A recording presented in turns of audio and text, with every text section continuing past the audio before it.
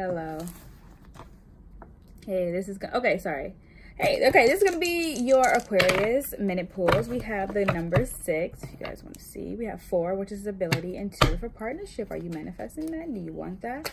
Is it something you're deciding? Are we deciding, deciding? But then, you know, um, Sunshine Tarot really kind of like really hit the head on a needle when she said that Aquarius, when they like you, they're ready to marry you. When they, when they know for sure. And for Aquarius to be predictive, futuristic beings, they know the future. You know, they know light years away from themselves. So just remember that, okay? Even if you don't. So your time is impeccable.